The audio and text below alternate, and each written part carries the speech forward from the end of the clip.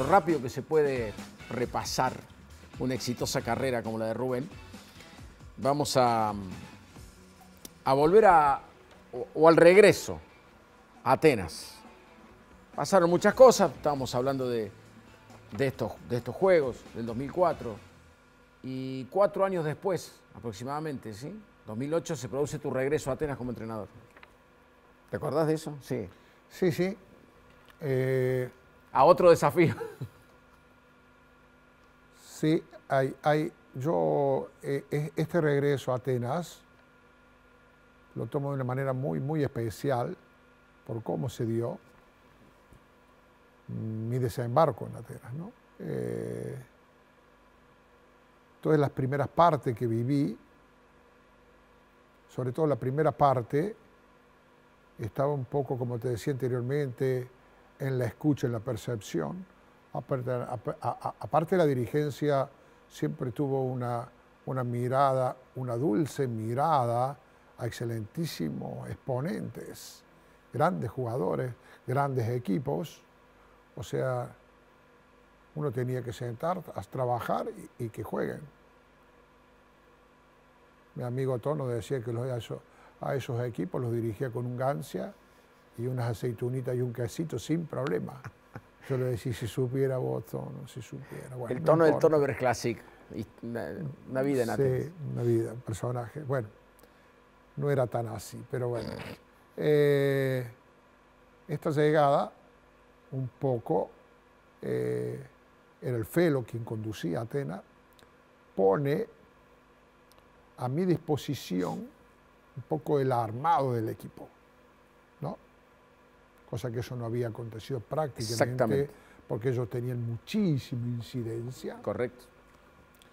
Eh, entonces, eh, a mí me da la posibilidad de encarar este pequeño proceso de manera diferente, con, con conversaciones previas con los jugadores cara a cara, apuntarles a dónde íbamos, cómo, los cómo, que para mí son fundamentales. Y eso también nos dio una suerte de claridad Hmm. eh, en este cómo íbamos a encarar esto, sin perder el objetivo fundamental, que era intentar el campeonato. Yo tomé ese testimonio de campeonato sin problema. A ver qué decías en ese 2008 cuando regresabas a Atenas. A ver, si soy Y finalmente el acuerdo llegó. Se reunieron este mediodía Rubén Mañano y Felipe Lavaque y el entrenador regresa a la institución de Barrio General Bustos, lo que significa una apuesta importante para que el equipo griego vuelva a estar en los primeros planos del básquet argentino. Yo creo fundamentalmente que las expectativas están centradas en, en recuperar un poco ese prestigio que tenía Atenas, volver a, a que la gente consuma lo que es, ha sido la marca registrada que es Atenas en el básquetbol nacional, es un gran referente, crear un ambiente de credibilidad. Eh, seguramente que con estas variables estaremos cerca de conseguir los objetivos que nos proponemos. ¿Te satisface este plantel? Y Lo he elegido yo, así que me satisface plenamente. O sea, tengo buena memoria. Viste, cuando alguien dice no resiste un archivo, cuando uno tiene una coherencia resistís a todos los archivos. Eh, es que es, ser incoherente me parece que es una, una de las falencias más grandes que puede tener una persona, encima un entrenador, ser incoherente con lo que decir con lo que hace, eh, es como la mentira, eso tiene patas cortas. Tal cual. No llegas lejos. Y no te respeta nadie después. Eh, a la segunda incoherencia ya. Eh, y ese, mm, ese plantel que vos armaste llega a una gran final contra otro equipazo que tenía un base que hoy, que es Facundo Campazo. Así es. sí. Estamos hablando de Peñarol, Sí. que tenía grandes jugadores y Atenas tenía... Y, y, por ejemplo, te hago una pregunta porque me tocó, y vamos a reflejar eso, aquel gran título estar en, en Mar del Plata. La, ¿Qué sé yo? No sé, la Pantera Ferrini, por ejemplo. to- Todo eso lo elegiste vos, todo eso, todo- todo- Sí, sí. todos esos jugadores. Exactamente. Juan Pablo Figueroa, un base extraordinario. Sí, sí. eh, y se puede ver, nombrar a todo el plantel, claro. todo sí, sí. Eh, fueron Locatelli, por ejemplo, eh, Steve, el, el, el- pivot que había tenido gra- grandes actuaciones y encajaba eh, perfectamente con, con lo que queríamos. El Leo Gutiérrez, que fue un, un gran referente dentro del equipo, ¿no? Bueno, Diego, que ya venía, era la cuota de experiencia Tal que cual. eh, eh, Kanté, ahí me. Kanté, ahí está, El- sí. el- sí, o sea, todos jugadores que nos dieron, nos dieron muchísimas cosas. Un torneo El tremendo. Bruno Lava, que Sí, claro. o sea, pero eh, de nuevo eh, resalto, eh, más allá de estos nombres que de pronto no eran los nombres rutilantes que estaba acostumbrado a Atenas, pero al servicio del equipo. ¿no? ¿Querés ver cómo ganaron ese título?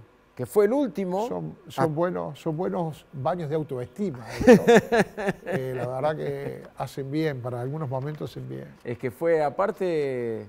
Esa parece- bandera, Parece bueno, increíble, sí. pero fue así. ¿eh? Desde el 2000 2009 hasta ahora no se volvió a ganar. Esa bandera, decía. No, no, estoy viendo Ah, paralelamente en bien. otra pantalla que hay una bandera ahí en la cancha de, Pe- de, de Peñarol, las Malvinas Argentinas, el estadio que esa bandera era, eran de mis hijos. Mirá vos.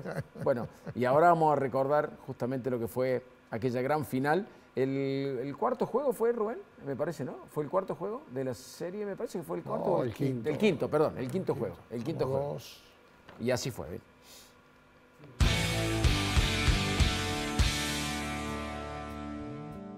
Estamos en la ciudad de Mar del Plata. El Polideportivo Malvinas Argentinas está que explota. Se juega el sexto partido de la serie final entre Atenas que gana 3 a 2 ante Peñarol. Atenas viene a buscar el cuarto partido que lo coloque como el ganador del noveno título en la historia de la Liga Nacional.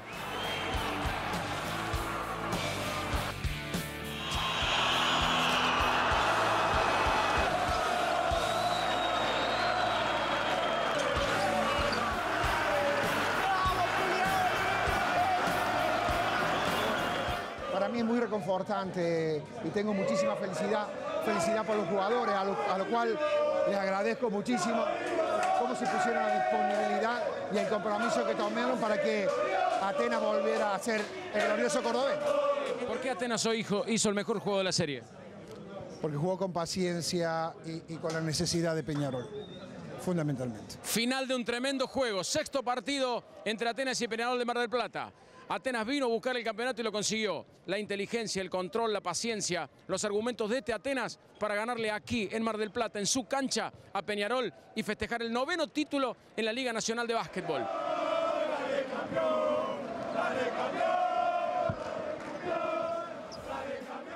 Qué lindo. Velo Lale Loterio ahí también. El Ale, el Ale, gran Claro. amigo. Ahí está el ah, bueno. Este, Eh, gran amigo. Bueno, eh, gratos recuerdos. Y estimo que dentro de, de todos los títulos, que la gente está seguramente en su casa deliberando si fueron ¿eh? 9, 10, 11, eh, este tiene que haber también tenido un lugar especial por lo que dijiste recién, por el armado y la conformación del equipo de tu parte, ¿no? Tiene que haber tenido un sabor especial ese título, ganado en Mar del Plata. Yo creo que todos los títulos tienen un sabor diferente por diferentes motivos, sin lugar a duda. A veces por lo duro que fue la final, o lo duro que fue la temporada, las adversidades que viviste o no. Eh, lo que sí hay un común denominador, nunca es fácil, nunca. Eso lo tengo clarísimo. Eh,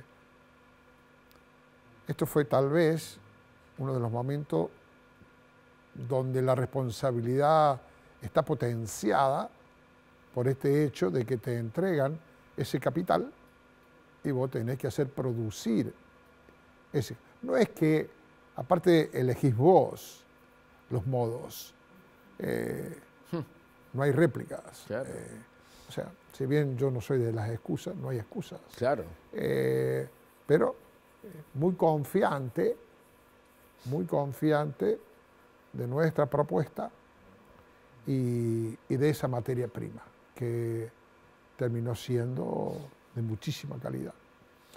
Em, es difícil en tan poco tiempo, vuelan los minutos, vuela el programa, pero me gustaría, sé que, insisto, es complicado a lo mejor, pero en, en dos palabras, en tres palabras, que vos puedas definir los apellidos que yo te voy a ir mencionando. Sé que no es fácil, pero bueno. Sí, no soy, Eh, en los ping-pong esto, No, pero... eh, tal vez. pero seguramente con, con lo que te dejaron te va, te va a fluir. Y arranco por, el, arranco por la base. Marcelo Gustavo Milanesio. Creo que el máximo referente de Atenas de Córdoba, ¿no? Eh, sin lugar a dudas, del básquetbol cordobés, eh, eh, por una cantidad de cosas, para mí el máximo, el máximo referente, Héctor Campana, un ganador neto. Fabricio Berto, Mira, para utilizar, es un coherente de lo que quería con lo que hacía. Diego Ocela, Un trabajador de básquetbol. Leonardo Gutiérrez, Otro, otro gran talento y otro referente de la Liga Nacional. En cada equipo que fue salió campeón. Emanuel Ginóbili, Eh, creo que es el, el máximo atleta en el, te diría, en el deporte argentino. ¿Cuántos títulos ganó en Atenas Rubén Mañano? ¿Ganó nueve? ¿Ganó diez? ¿Ganó once? Ya venimos.